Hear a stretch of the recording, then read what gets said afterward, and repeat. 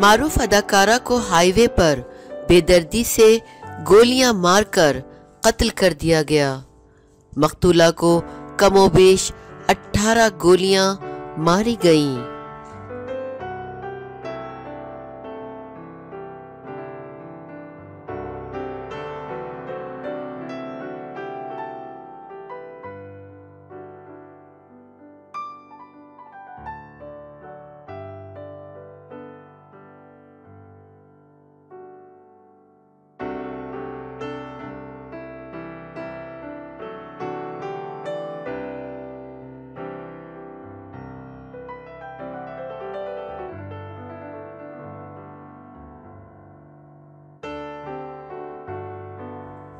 America में एक दिलकराश वाक़ सामने आया है, जहाँ सबक अदाकारा को हाईवे पर बेदर्दी से गोलियाँ मारकर कत्ल कर दिया गया।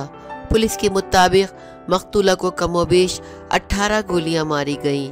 गैर मुल्की मीडिया रिपोर्ट्स के मुताबिक कत्ल होने वाली अदाकारा का नाम रिबिका लैंड्रेथ है। मकतूला की उम्र सैतालीस साल थी। रिबिका की लाश को सबसे पहले हाईवे पर पेट्रोलिंग करते हुए एक पुलिस एहलकार ने देखा। इसने फौरी तौर पर इमदादी टीमों और अपने हुक्काम को इत्तला दी। लाश की इत्तला मिलते ही पुलिस और इमदादी टीमें मौके पर पहुँची और शवाहिद इकट्ठा करना शुरू कर दिए।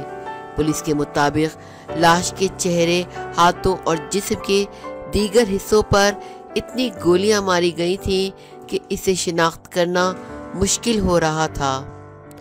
पुलिस ने लाश की तलाशी ली तो मकतूला की जेब से एक ऐसी पर्ची मिली, जिससे कातिल को गिरफ़्तार कर लिया गया। अमरीकी मीडिया के मुताबिक, पुलिस ने इब्तदाई तफ्तीश में इस बात का पता चलाया है कि रिबिका को कत्ल कहीं और किया गया था, लेकिन इसकी लाश को बाद अजा लाकर हाईवे पर फेंका गया।